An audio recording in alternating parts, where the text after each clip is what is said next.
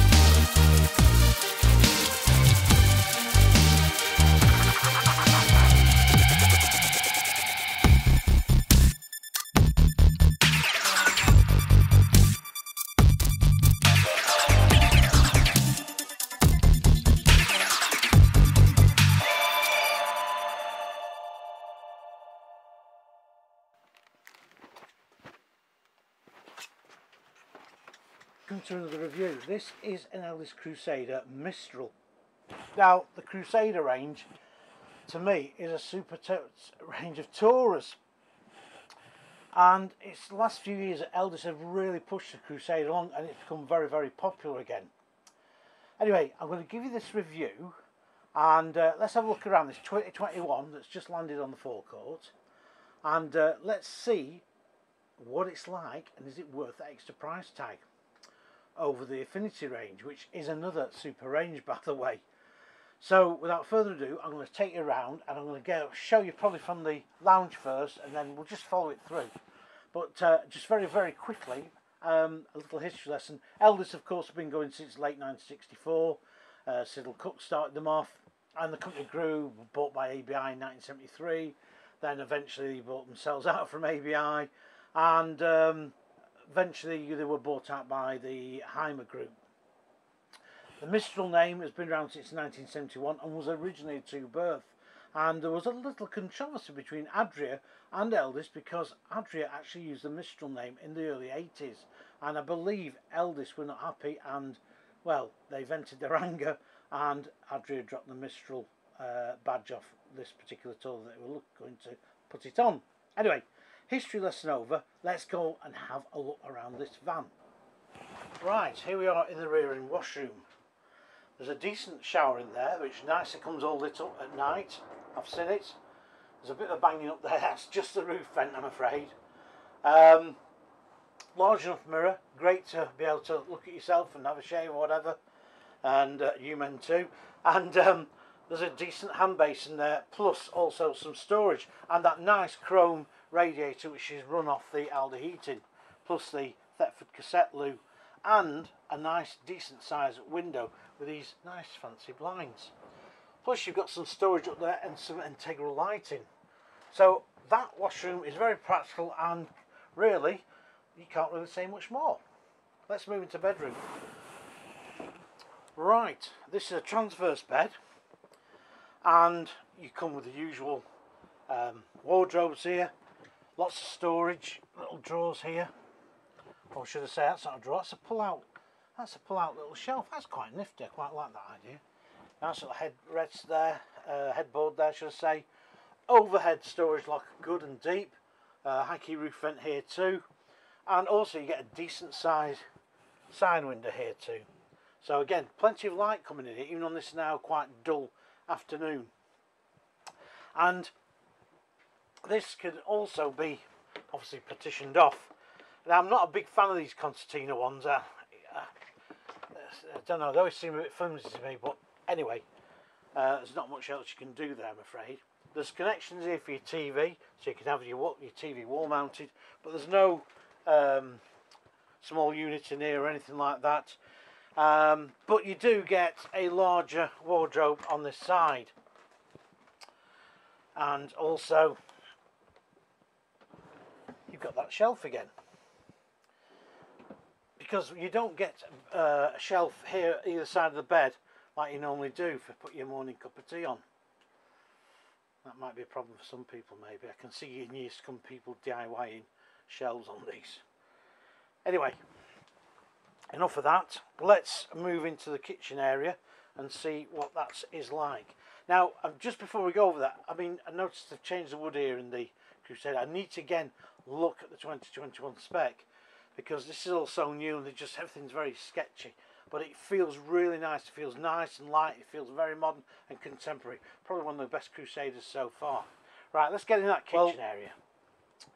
What you notice, of course, is this super-sized uh, hand basin. And you've got some decent storage here, splashback here. And also there's two uh, main sockets. And for extra worktop storage, of course, you've got the fold up there, which is very good. Um, normal size Dometic fridge, it's good. Plus you've got the Thetford oven here with dual fuel hob. And lots of drawer storage. Plus your microwave and a little bit more worktop over here. And that microwave is set a real great, it's a great, nice working level is that. And I, I quite like how it just seems, you know, they could have put a bit of filler, but it's just really nicely finished off. And of course you've got some more storage up here. And integral light. And um, it's very, very practical, of course. And a cupboard below. So, quite a bit of decent worktop and quite a bit of you know um, uh, good storage. The Mistral's um, storage and kitchen area as a whole is very practical. Yeah, some downlights top there too. So plenty of light, and you've got the on the vent roof vent at the top here as well to get rid of those nasty smells when you're cooking. Now we are quite losing light here now. It's gone really dull so we'll be fairly quick. What I did forget just to mention was that bed does pull out to make it larger for sleeping in and you can still get around. You can see me in the mirror there. Sorry about that. Okay let's get to that the lounge area is well served by sunroof and this opening sky vent as well which has got lighting round there. The lighting is very very good in the L this is no doubt about it and the Crusader is no exception um, again good comfortable seating lots of uh, storage and things for your, uh, for your for your telly, your radio, your speakers up there, a little bit of a shelf over there, and a front shelf too. And of course, you do have access flaps to the seat bases. Plus, to make this up into a double, of course, you've got the slats big thick cushions here. I mean, these are something I'd have in my front room, you know, in the best, in, in my parlour. Make it look nice and, and, and posh. So it should be very comfortable to be here. Four people will only be able to sit in here. The seats are short, but very comfortable on the whole. And yeah, as many as you can imagine, it's going to be used mainly for two people this Tourer. So really, it's going to be ideal. Very snug. That's in the front lounge area. Um, what do I think? Well, it's twenty-seven and a half thousand pound thereabouts, and for that sort of money, I think this actually is quite good value. You get a lot of Tourer for the money. I do like the feel that it's quite modern. You've got some very sizable roof, roof lockers in there, a very good spec. Now, you could argue and say, well, you know, do you want to go and pay the extra five or six thousand plus for the Buccaneer? And get a little bit extra spec. Again, it's down to what people aspire to, and people do aspire to Buccaneers, and that name does have presence on the touring site.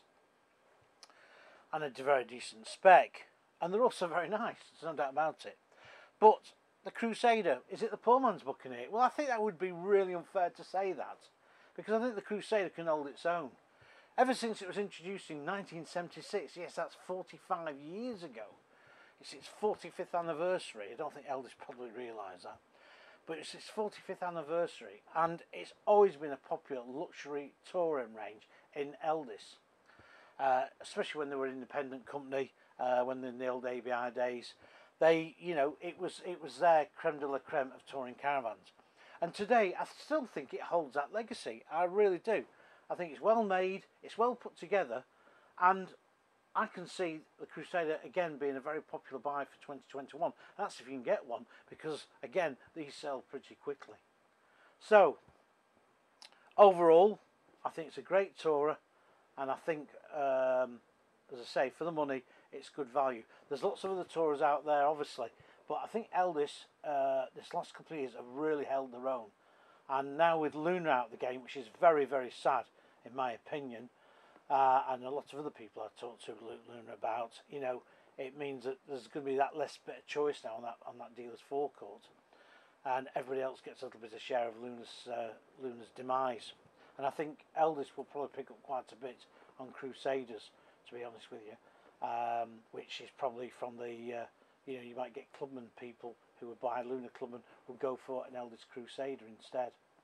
So on that note, I shall bid you farewell and um, I will hope to keep bringing some reviews. Um, and the weather's turning very wet again now. And uh, it's going quite dark. And it's just a little winter really. I just wish I could put the heating on, shut the curtains on here, put the telly on and put my feet up. Be very comfortable. Anyway keep subscribing. Please keep liking. Please watch the uh, please give me some comments. And also uh, uh, Christmas time, if you want some books to read, check out my, my uh, Facebook page with all the books on or Amazon. I shall see you soon and stay safe and also let's look forward to 2021 and let's hope caravanning will be much more improved and we can get out and about more. Bye for now.